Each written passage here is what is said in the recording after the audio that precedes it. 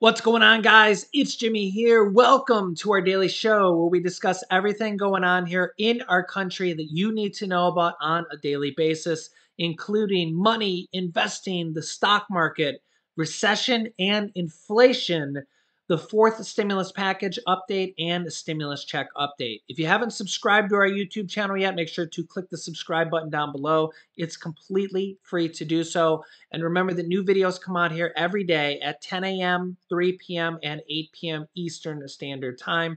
And also, thanks for hitting the like button for us down below.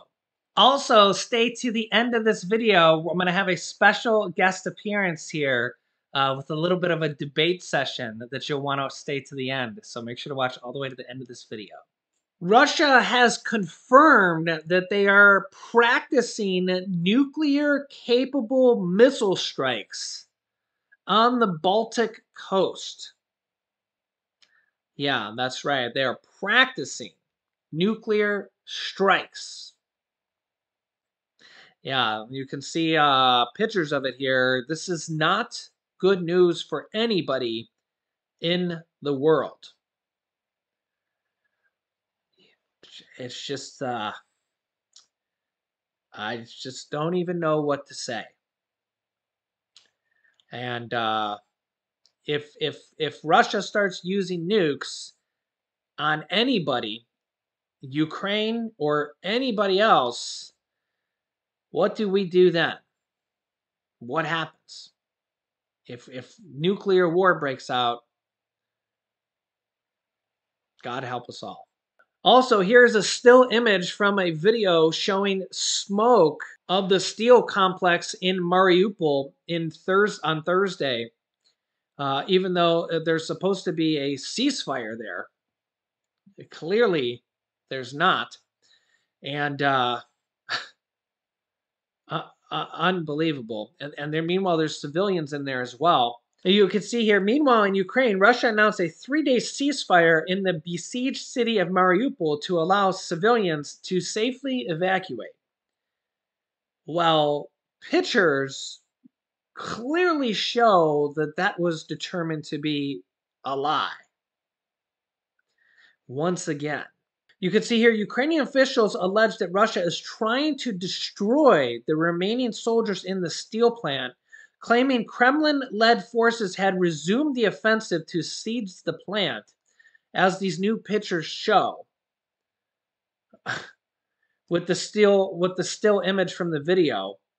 Russian President Putin's spokesman denied that troops are storming the steel plant when they were asked during the press conference, uh, Dmitry Peskov said, You were witnesses. The president gave the order to refrain from the assault.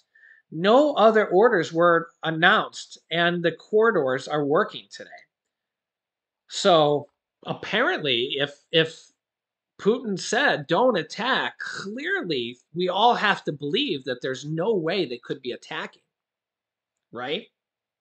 The pictures have to be a lie and the video has to be a lie. Sarcasm, just so everybody's clear there, uh, because there's video and pictures with timestamps, but of course, Russia would never lie, even though they've been caught countless times. Remember, they said they weren't going to invade Ukraine, remember? And then they invaded a few days later. Remember, they said they weren't going to uh, bomb and attack civilians, and we have countless pictures and videos of uh, apartments and hospitals just destroyed. It's just, yeah, unbelievable. And now they're testing nuclear missiles. So the question is, what is going to happen with that? Is that the next step? And what is the world going to do if they start launching nuclear missiles? I don't even know. Do we, does the rest of the world get involved in a nuclear war? Meanwhile, the EU, the European Union, is considering or taking a major step towards banning all Russian oil from Europe and new sanctions on Europe as well. Remember, it's not just the US that is supplying munitions, aid, and money to the Ukraine. Uh, some some people believe that, but that's completely untrue. Uh, almost all of Europe is com- is also aiding Ukraine with money, munitions, and supply and military supplies as well. And the EU is also considering banning Russian oil as well. If they do this, it could send the price of oil and the price of gas skyrocketing um, across the world and in the US. Even though we don't buy any Russian oil, remember the price of oil and the price of gas is a global price. Check this out. Back now to the war in Ukraine. Starting a few minutes from now, the UN Security Council will be holding a meeting on Ukraine. The U.S. ambassador says the discussion will focus on protecting Ukrainian civilians, dealing with food shortages, and further isolating Russia. It is the first meeting of the UNSC since the United States took over as the leader of the council at the beginning of May. And the latest on the war itself, for the first time, Russian forces have breached Ukrainian defenses at that steel plant in Mariupol. According to a Ukrainian commander, there are, quote, heavy, bloody battles now being fought in the plant's bunkers and fallout shelters. About 200 civilians are believed to be still inside that plant, along with an unknown number of Ukrainian soldiers. At this point, they are all that stands between Russia and full control of the city of Mariupol. There is fierce debate underway at the European Union as members decide wh uh, whether or not to sign on to a new proposal that would ban Russian oil imports within six months. Already, Hungary and Slovakia have raised objections and have been offered special exemptions to keep them an extra year, give them an extra year to adjust to the ban. But other countries, such as Poland, believe the proposed timeline is too slow. The plan needs unanimous approval from all 27 countries in order to pass and could be voted on within days. And the U.S. is offering security assurances to Sweden and Finland during the period after they apply to join NATO and before they are officially granted entry.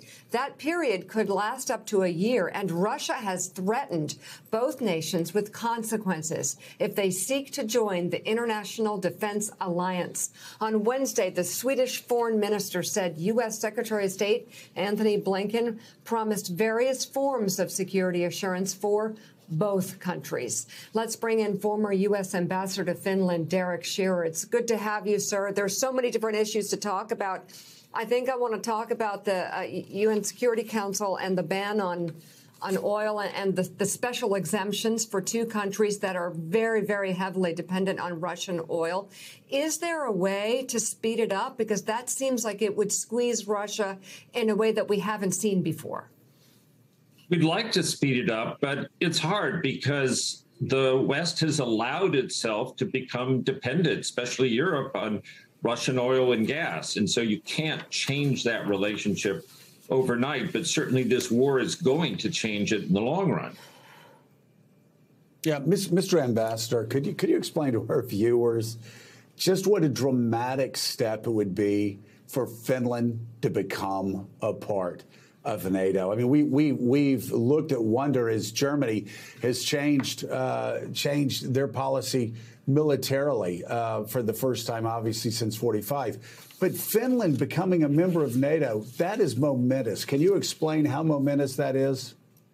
Well, it is a big change. And it's, of course, the opposite of what Vladimir Putin wanted to happen. He wanted to weaken NATO. Instead, NATO is going to be strengthened by taking in Finland and Sweden. Um, I was ambassador when Finland joined the EU, which became then the northern border of the EU with Russia. Now, once Finland joins NATO, it will become the 800 mile northern border with Russia. So Russia is ending up with two strong, well developed, very tough countries added to the NATO situation. It's the opposite of what he wanted. And for Finland, who had to be neutral during the Cold War because of being on the Russian border. This is not a big change, but it's a significant change. Finland already has been using our F 18 Hornets, which they purchased when I was ambassador, and they've just decided to buy the new F 35s. They're fully interoperable with NATO, and they'll be a plus to the security of NATO. Yeah, and remember this that if anybody attacks a country in NATO, it is a declaration of war against all the countries in NATO, including the United States. Okay? Same thing with the European Union. If you attack, if anybody attacks a country in the European Union, um, it, the treaty says uh, all the European Union countries are then at war. So keep that in mind. That's why it's so strong to be a part of NATO or the European Union. And that's why um, Ukraine is basically somewhat on their own fighting this war. Um, you know, besides the fact that all these countries are, are giving them aid, you know, money and, and military supplies, but not fighting with them per se. You, you know what I mean. Um, if, if, if they were part of NATO or the European Union, Russia wouldn't even have attacked them, you know, because they can't, they're having such a hard time with just Ukraine. Imagine if it was Ukraine plus 30 other countries. I mean, I just, it wouldn't even have happened. It wouldn't even have happened. Uh, either that or it would have just been all out nuclear war, which would just be. We don't even want to talk about it. So, yeah, let me know your thoughts.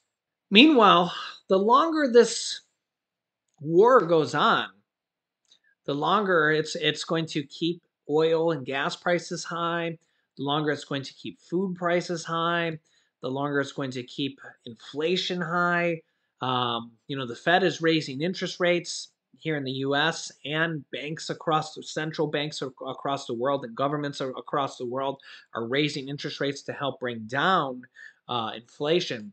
But uh, you know, this is this is exacerbating the problem in, in due to the fact that oil and gas prices and food prices are, are being kept high because of the war. So this is this is just going to hurt us in the long run. Now, if the EU does ban Russian oil, it'll be interesting to see, not in a good way, but there's no other word to really describe it, what will happen to oil prices. My experts say that it, it, it will probably spike up oil prices dramatically. Um, we hope that it won't. We hope that it won't. But the problem here is that will there be enough oil to supply the rest of the market? Will there be a, a massive oil shortage? If there's a massive oil shortage, that sends demand up and oil prices would skyrocket. Now, you can see here on these uh, on this announcement already, the price of oil has already been going back up. Uh, the price of WTI crude is at 108 and a half, and Brent crude is are up over 110 already, almost at 111, 100, $10 a barrel. Um, so this we are quickly rising back up. This was under $100 a barrel. Remember, Brent crude was uh, the high was $140 a barrel back in March. But here's the real problem. Gas prices here in the U.S. have really never gone down, very little. Look at the national price of average price of gas here in the U.S. $4.25 a gallon now. 424.7. We might as well just say 425 for regular. 547 for diesel. Oh my gosh. A week ago, diesel was 512. Why is diesel so much more? Because they can. Because they can gouge us. Diesel takes less refining to make diesel. So it costs them less money to make, Yes, but they charge more. but they charge us more. And they know that, uh, that all the. Here's the problem with gas and diesel they know we have to buy it. Yeah, we're, we're, we're captive. Yeah.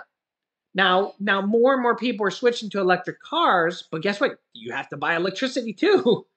Electricity's been going up as well. Electricity's been going up as well.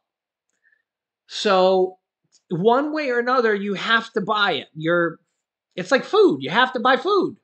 You have to buy food, you have to buy electricity, you have to buy gas. You have to buy diesel. This is absolutely insane that diesel is going up this much. Well, and if you think about it, Look at that. Oh my I, I think the previous that is unbelievable. and if you think about it, what Look at this. is This the- is the all-time high of what is diesel. the main user of diesel? It's just semi trucks. Yeah, and semi trucks transport all the crap all over the country. Yeah, all the food. Yeah. And and that's the main driver of why food is so high. I mean, the war in Ukraine as well. You know, they're they're uh, Ukraine and Russia are major suppliers of a lot of food products, Yeah. even though they don't make it here to the U.S. Most of them, it- it's rising- off the whole it's it's making the the prices go up globally, and Mhm. when they go up globally, they're they're charging the same here in the U.S. This price of diesel is insane. And here's the problem is that we are $30, we're 30% below the high of oil. Oil's at 110. Back in March, it was at 140 a barrel. So if we're 30% below the high, why is diesel at an all-time high? because they can. It should be 30% lower, You would think. not hitting all-time highs, not going up. Heaven forbid if it was only twenty five percent lower and they kept an extra five percent. And this and this is what makes me mad, right?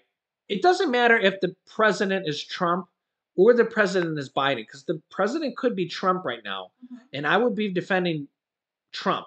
Mhm. It, it really makes me mad when people blame this on Biden.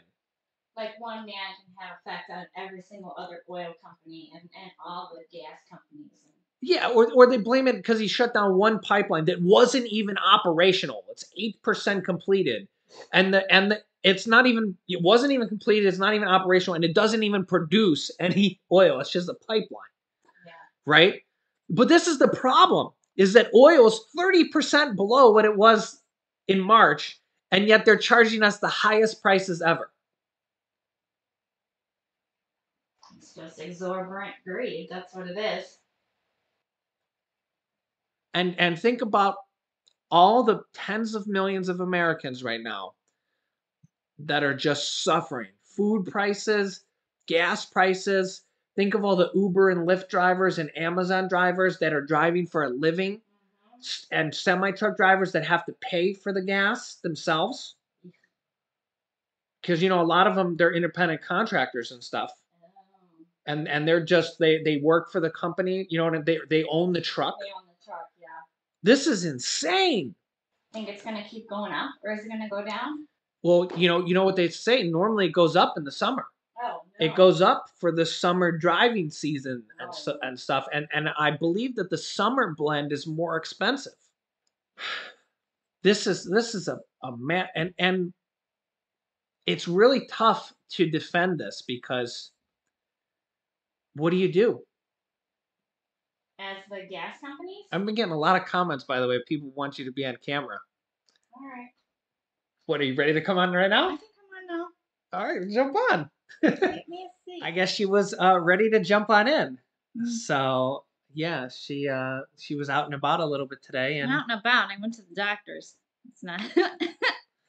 yeah, so yeah, this is the this is the how do you combat this? As the gas company, Yeah, you blame it on. no, no, no. How do we Oh, how do we combat this? How do we stop We- this I- I- crisis? I don't know because no matter how much outrage and things from people, the Exxon and all the gas companies don't care. Say you were the president. The only thing that would work is if they put in into action that plan that they had about taxing them and using it for checks to people for profits. Because either they pay the, the taxes on the higher profits above the threshold that's set and then people get checks, or they lower their profits I feel like that by would. passing it on to people anyway. I feel like if they can get that passed, that would be cool because let's say they keep raising their prices. Mhm. That's okay. They they get taxed even more on it then. Yeah. Either and way, then they keep distributing even more checks on. either it. way, the money comes back to people. Either they lower their profits and lower their well, they lower their prices so the profits are lowered, so people benefit that way to stay under the threshold, or they go above the threshold and then people get checks. I think it's just it's so sickening this gas prices. I remember way back in the day when we owned the limo company. Um, Mhm. and that was back in like 2010, 2000. Well, we sold in 2012. yeah, so it was somewhere back then and the gas was over four dollars a gallon. Um, and it was so expensive because we had a whole fleet Uh huh. And whew, Of cars that didn't get the best gas mileage. yeah, big buses and big huge limos that seated you know 20 people. And uh, for weddings and proms and and uh, and stuff like that. And uh, they they were not cheap. No. they were not cheap. And we had a whole set of employees that depended on us for for their living you know? Hmm and uh yeah that was a a much different time it, it was you know it's weird how it was a different time but it feels the same I know. you know it's it's funny how we're, we're back in the same situation Oh, with gas. yeah Yeah. you know It is what it is. yeah so what do you think about this whole supreme court roe versus wade thing do you think it's going to get struck down I don't know nowadays. A couple people get a bug up their ASS and then they have to try and change it or whatever. I, I personally am pro I, I think I I think women should have the choice. It's a horrible choice to have to make. It's a horrible position to be in. Nobody thinks that it's good, but it's the woman it the woman should be able to choose. Do you think that government Well, and then don't forget there's situations where the woman's health is in question. It's either the baby or the woman. You would possibly lose one. Like What- in a fallopian tube situation What was a that- tubal pregnancy. What was that picture you were showing me? So yeah, my wife's seen some things on uh, on the internet here. So she's seen this from a doctor. Uh, maybe you can show this on I'll on just I'll just read it or she'll just read this. So this is from a doctor, Dr. Graham Walker. So on Twitter. what does this doctor say? Just so we're clear, the pregnancy that ends up in the wrong spot, like the fallopian tube, the one that will never turn into a baby and will rupture and kill your wife, daughter, or sister. Terminating that fetus is also an abortion and they want to ban those too. So that's the problem is is there's so many situations where it's almost medically necessary And and that's to where save lives and and That's- it's just you can't you can't you can't catch all just give it a pass for everybody to do and you can't catch all about. ban it for everybody to do it's that's too, what I talk about painting with a broad picture. Same thing with the child tax credits. it's too circumstantial where you talk about painting with a broad picture and saying do a work requirement you know everybody's able bodied you can't say that because no, there's millions of people that are on social security. There's millions of grandmas and grandpas million different that are that are raising the children. Yeah.